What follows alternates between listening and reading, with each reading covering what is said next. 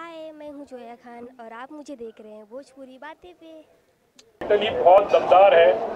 कुछ अपने किरदार के बारे में और भोजपुरी में पहली बार एक बायोपिक पर काम हो रहा है क्या कहना चाहोगे? देखिए इसके पहले हमारे जो प्रोड्यूसर साहब हैं इन्होंने फ़िल्म बनाई थी मुकद्दर। है ना?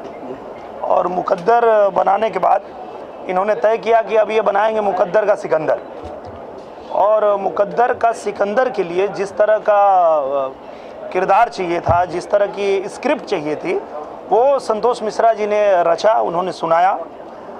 और एक ऐसे किरदार के बारे में उन्होंने ये फ़िल्म बनाई, जो रियल में थे और उनके गाँव के आसपास के ही थे तो उनको काफ़ी अच्छे से उनके बारे में पता था। तो उन्होंने ये फ़िल्म बनाने की सोची और मुझे मौका दिया इसमें काम करने का। मुझे बहुत मज़ा आया ये फ़िल्म करके। और मैं ये कह सकता हूँ कि हम कहते तो हैं हर बार कि नई फ़िल्म हम कुछ अच्छा नया लेके आ रहे हैं अलग लेके आ रहे हैं और कोशिश भी रहती है कि हर बार कुछ नया किया जाए पर इस बार सच में संतोष मिश्रा जी ने कुछ नया किया है। जैसे कि टाइटल रोल है टाइटल रोल करना एक अपने आप में चैलेंजिंग होता है और फिर जैसे कि टाइटल है मतलब एक सिकंदर वाला है। जी।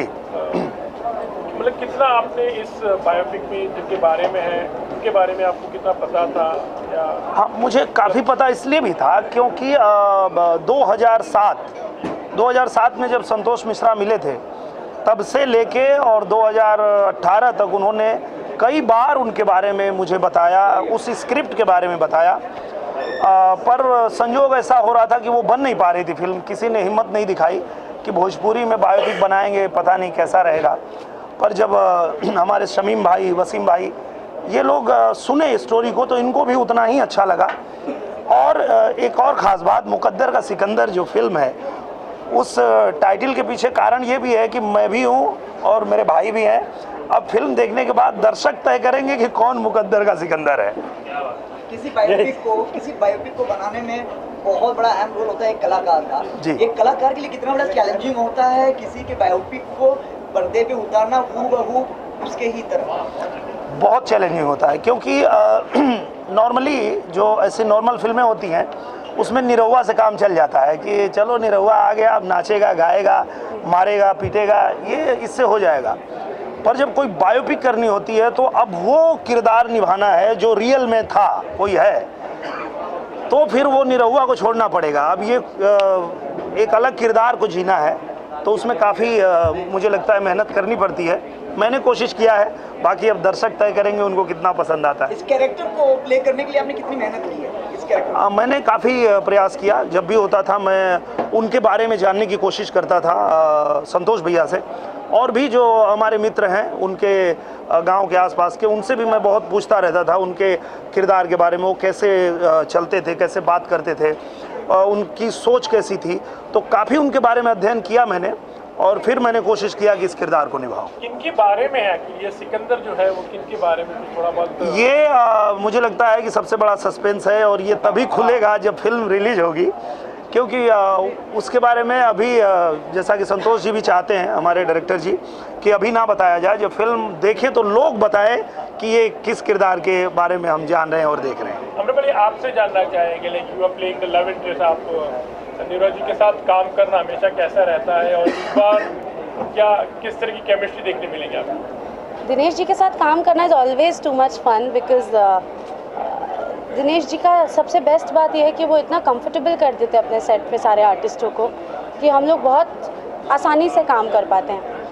और ये जैसे लव इंटरेस्ट तो मैं प्ले करती ही हूँ हर फ़िल्म में एंड वो हमेशा बहुत एक्साइटिंग होता है। लेकिन इसमें actually when this is based on a real life of someone तो इसमें जिस कैरेक्टर को मैं प्ले कर रही हूँ वो भी एक रियल पर्सन ही है जिनको प्ले कर रही हूँ।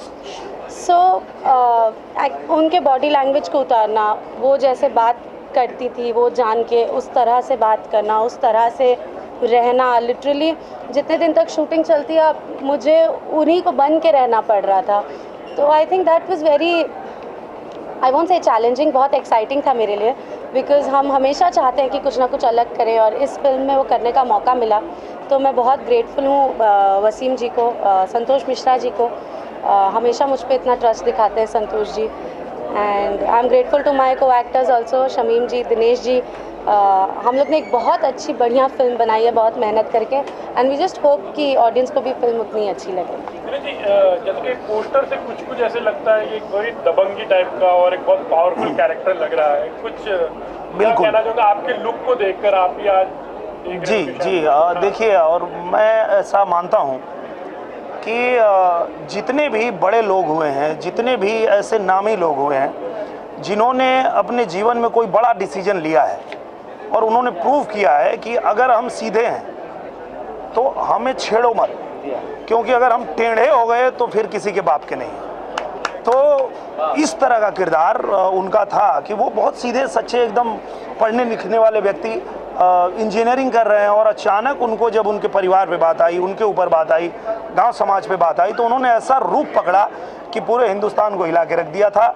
जब आप फ़िल्म देखेंगे तो आप खुद भी उसको समझ पाएँगे। आपसे जाना सर जब बायोपिक की बात हो ही रही है जी। तो संकोच क्यों कर रहे हो उस- उस अब मुझे लगता है कि अ, मेरे ऊपर ऐसा पाबंदी मेरे डायरेक्टर ने लगा दिया है कि आप ना बताएँ नाम। अ, संतोष मिश्रा ऐसा चाहते हैं कि जब फ़िल्म रिलीज़ हो लोग देखें तो उनको पता चले कि अच्छा ठीक है इनके बारे में ये फ़िल्म बनी है। अब बायोपिक बनाना उसकी कि कैसे आपने सोचा? कितने वक्त से जैसे जी ने बताया कि आप काफ़ी ज़िक्र कर रहे थे। पहली बार अटेम्प्ट कर रहे थे तो क्या कुछ दिमाग में चल रहा था, जहन में बनानी, नहीं बनानी, कैसे एक्सेप्ट होगा? और यही इसी पर क्यों बायोपिक लगे? जी बायोपिक की जैसे बात की, संतोष जी ने कहानी जब सुनाई तो जब कहानी सुनते ही हम दोनों भाई बैठे थे तो पहला चेहरा जो नज़र आया, वो सबसे पहले दिनेश जी का आया कि ये किरदार को दिनेश जी से बेहतर भोजपुरी में कोई नहीं कर सकता। और ये आप देखोगे अभी टेलर देख के चंद मिनट में आपको मालूम पड़ जाएगा कि दिनेश जी ने वाकई में काम बहुत ज़बरदस्त किया है। और जैसा आपने अभी सवाल किया था उनसे कि आपको कितनी मेहनत करनी पड़ी तो मुझे लगता है कि उन्होंने जो 10-12 साल बताए हैं तो उन्होंने बहुत मेहनत की है उस पर और उस पर वो खड़े उतरे। म्यूज़िक की बात करते हैं जी। जी। आज म्यूज़िक का मौका भी है। तरह का म्यूज़िक रहेगा और कैसे गाने देखने रोमांटिक तो डेफिनेटली होगा ही। हाँ बिल्कुल रोमांटिक गाने तो हैं ही पर सेम टाइम पे इस फ़िल्म में अ, कुछ जो हमारे पारंपरिक गीतों में जिस तरह का व्याख्यान रहता है किसी किरदार को बताने के लिए किसी स्टोरी को बताने के लिए इस तरह का म्यूज़िक भी इसमें रखा गया है गाना रखा गया है जो कि पूरी स्टोरी की गंभीरता को बताएगा कि ये किस तरह की कहानी है किस तरह की स्टोरी है। तो मुझे बहुत अच्छा लगा और मैं ऐसा मानता हूँ कि मेरे दर्शकों को भी बहुत पसंद आएगा। अम्रपाली म्यूज़िक के बारे में आपसे भी जाना हीरोइन डेफिनेटली जी एक्चुअली हमेशा मेरे फेवरेट्स वही होते हैं रोमांटिक डांसिंग ग्रूवी नंबर्स लेकिन इस फ़िल्म में सच दिनेश जी सच में ये बात जो बोल रहे हैं जो हमारी पारंपरिक धुनें हैं वो इतनी अट्रैक्टिव होती है। आप किसी शादी ब्याह में सुन लीजिए, किसी कहीं पे भी सुन लीजिए, आप उससे अट्रैक्ट हो जाएँगे। और उन धुनों को हमारे म्यूज़िक डायरेक्टर बहुत इस फ़िल्म में अच्छे से पिरोए हैं। तो इस फ़िल्म में मेरे वो गाने ज़्यादा फेवरेट हो चुके हैं रोमांटिक से। अच्छा मुकद्दर का सिकंदर की बात करते तो मिस्टर बच्चन याद आता है, अमिताभ बच्चन। तो क्या लगता है कि कितना जोश या फिर आप आपने भी तो याद किया होगा। मुझे लगता है देखिए मैं याद करूँ ना करूँ मेरे रोम रोम में बसते हैं वो क्योंकि मैं उनको इतना अ, अपने जीवन में फॉलो करता हूँ बचपन से फॉलो करता आया हूँ और मेरे लिए मैं कहता भी हूँ जब मैं उनके साथ काम किया तो भी मैंने उनसे कहा था कि आप मेरे लिए भगवान जैसे हैं। अ, मैं जब आप सामने खड़े होते हैं जब अमित जी सामने खड़े होते हैं तो मैं ऐसा समझ ही नहीं पाता हूँ कि मैं सपना देख रहा हूँ या रियल में वो मेरे सामने है। तो मेरे लिए उनका स्थान बहुत ऊँचा है। और मैं उनको अगर ना भी चाहूँ कि किसी किरदार में उतारूँ तो भी वो मेरे अंदर आ ही जाते हैं कहीं ना कहीं। तो निश्चित रूप से इसमें भी उनकी थोड़ी बहुत झलक तो दिखेगी। पर ये सच है कि ये जो स्टोरी है, उससे जो मुकद्दर का सिकंदर हिंदी फ़िल्म थी, उससे कुछ लेना देना नहीं है। सिर्फ़ टाइटल संयोग से मैच करता है। बाकी कहानी से कुछ लेना देना नहीं दिनेश जी आप बीजेपी के सदस्य हैं जी। जो हाल चल रहा कि देश का हालिया है। उस पर आप क्या कहना चाहेंगे? बीजेपी का सदस्य होने के नाते जो सी के ऊपर आप अपना पक्ष क्या रखेंगे? देखिए बीजेपी का सदस्य होने के नाते क्या कहूँगा उससे भी ज़्यादा एक हिंदुस्तान का नागरिक होने के नाते कहूँगा कि हर व्यक्ति को समर्थन करने का जितना हक है उतना ही उसको अधिकार विरोध करने का भी है। पर किसी भी चीज़ का समर्थन और विरोध आप उसके बारे में जान के करें कि जो कानून आया है, वो कानून क्या किसी का अधिकार छीनने के लिए आया है या किसी को अधिकार देने के लिए आया है? तो मुझे लगता है कि ये जो कानून आया है, वो जो लोग ऐसे हैं जो प्रताड़ित हुए और इस देश की नागरिकता लेना चाहते हैं तो उन्हें ये नागरिकता देने के लिए कानून बना है ना कि इस देश के किसी भी धर्म किसी भी जाति या किसी भी व्यक्ति की नागरिकता छीनने के लिए नहीं हुआ है। तो मुझे लगता है कि विरोध करिए समर्थन करिए पर उसके बारे में जान लीजिए अफवाहों से दूर रहिए। मैं तो यही कहना चाहूँगा। दिनेश जी को हम फिर देख सकते हैं इलेक्शन में। वो तो समय तय करेगा क्योंकि देखिए समय ही है। मुझे कभी नहीं पता था कि मैं इलेक्शन लड़ूँगा क्योंकि अ, सच पूछिए तो मैं राजनीति के लिए बना भी नहीं मैं सिर्फ़ और सिर्फ़ फ़िल्मों के लिए बना हूँ जो मैं करता हूँ। समय ऐसा आया कि मुझे उतार दिया गया और मैं कहीं ना कहीं उस समय चाहता भी था कि इस देश के प्रधानमंत्री नरेंद्र मोदी जी बने तो मैं उतर गया। आगे समय क्या होगा अब उसके बारे में अभी से मैं नहीं कह सकता। सर एक सवाल और अलग है थोड़ा सा जी। निर्भया कांड में बाईस तारीख को फांसी होने वाली है। होने वाली है कि?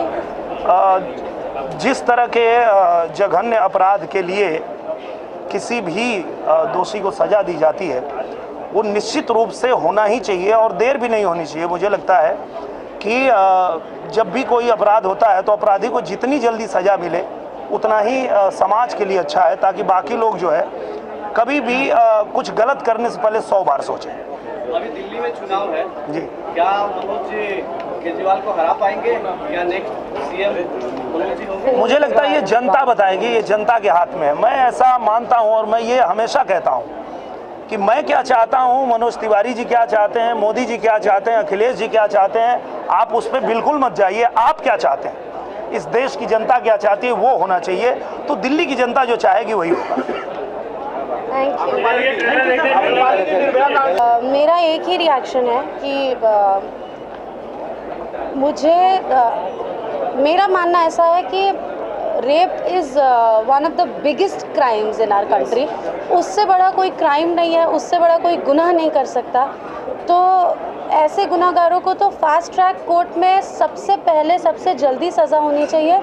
और इनफैक्ट जब उनको फांसी लग रही है ना तो उसका लाइव टेलीकास्ट होना चाहिए। ताकि ऐसी ताकि ऐसी दरिंदगी वाला काम करने से पहले हर किसी की रूह कांपे क्योंकि वो देखे हो कि इसका नतीजा क्या होगा। तो मेरा मानना यह है कि ऐसे लोग को सरेआम फांसी होनी चाहिए। चौराहे पे फांसी। चौराहे पर फांसी होनी चाहिए और वो सबको देखना चाहिए। वाह।